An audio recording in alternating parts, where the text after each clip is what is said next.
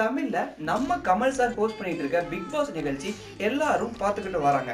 So இன்னைக்கு big பாஸோட தொண்ணூத்தி நாலாவது எபிசோட்ல கவிஞர் தன்னுடைய காதலை வெளிப்படுத்திருக்காரு அப்படின்னே சொல்லலாம். ஸோ இன்னைக்கு கவிஞர் தன்னுடைய காதலை எப்படி வெளிப்படுத்திருக்காரு அப்படின்னா தன்னுடைய கவிதை மூலமாகவே வெளிப்படுத்தியிருக்காரு அவர் என்ன கவிதை சொல்லியிருக்காரு அப்படின்னா நான் நல்ல காதலன் நல்ல காதலி கிடைக்கவில்லை அப்படின்னு ஏக்கத்தோடையும் நான் யாரையும் காதலிக்கவில்லை கேட்டு பாருங்கள் என்னை காதலித்தவர்களை அப்படின்னு இலைமறை காய்மறையாகவே பேசியும் நம்மளையும் வியப்படைஞ்ச வச்சிருக்கிறாரு.